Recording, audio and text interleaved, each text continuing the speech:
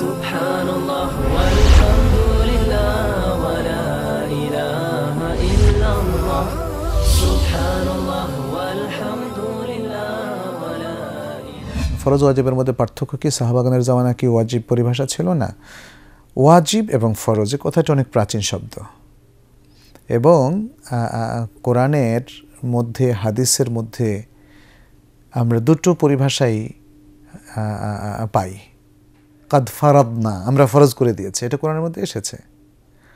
তারপরে, কুতেবা আলাইকুম, আয় ফরেদা আলাইকুম, তোমাদের উপর লেখা হয়েছে মানে ফরজ হয়েছে, এটা মুফাসিন কেরামগণ একমত।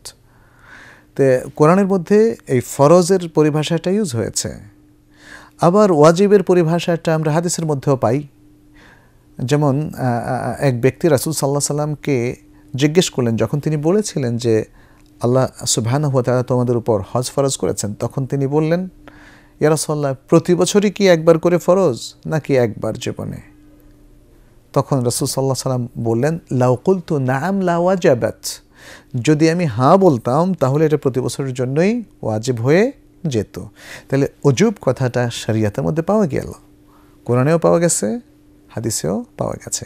যে কোনো এক জায়গায় পাওয়া গেলে এটা শরিয়াতের মধ্যে পাওয়া গেছে, ওহির মধ্যে পাওয়া গেছে বলে ধর্তব্য হবে। ফরজ এবং ওয়াজিবের সংজ্ঞা হচ্ছে যেটা করলে সব না করলে পাপ। তরক করলে পাপ, এটা। কিন্তু এই দুটো পরিভাষা নিয়ে ফোকাহাদের মধ্যে একটু একতলাফ দেখা দিয়েছে।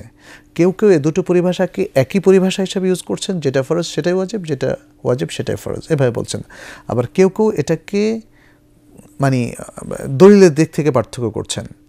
যেমন ফরজ হচ্ছে সেই বিধান যেটার দলিল কাতই অকাট্য দলিল এবং সেটা হলো কোরআনের আয়াত।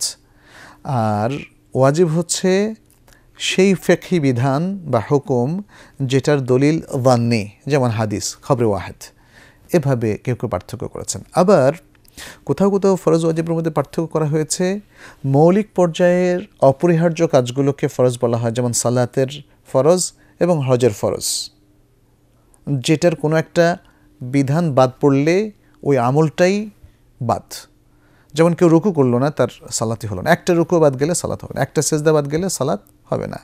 আবার হজের ক্ষেত্রে যেমন হজের তওয়াফটা, তওয়াফুল এফাদা বাদ গেলে হজ হবে না এবং আরাফাত দিনের অবস্থান বাদ গেলে হজ হবে না। আর এ দুটো আমলের ক্ষেত্রে কিছু আছে ওয়াজিব। যেগুলো বাদ গেলে সালাত হয়ে যাবে, তবে সহসেজদা করতে হবে। আর হজও হয়ে যাবে, তবে একটা দম কোরবানি করতে হবে।